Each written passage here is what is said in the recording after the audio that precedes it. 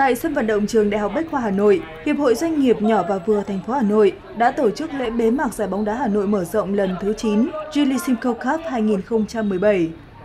Giải đấu thu hút sự tham dự của 16 đội bóng, chia thành 4 bảng thi đấu. Sau 2 tuần tranh tài sôi nổi và hấp dẫn, đã chọn ra được hai đội vào thi đấu chung kết là SHB và Việt Phát. Với đấu pháp và lối chơi hợp lý, SHB đăng quang ngôi vô địch. Qua 8 lần tổ chức, Giải bóng đá Hà Nội mở rộng đã thu hút được sự quan tâm của đông đảo cán bộ, nhân viên trong các doanh nghiệp thủ đô tham gia giao lưu và thi đấu. Đây cũng là hoạt động ý nghĩa, góp phần thúc đẩy phong trào thể thao ngày càng phát triển trong cộng đồng doanh nghiệp doanh nhân thủ đô, đồng thời hướng tới chào mừng 72 năm Quốc khánh nước Cộng hòa xã hội chủ nghĩa Việt Nam.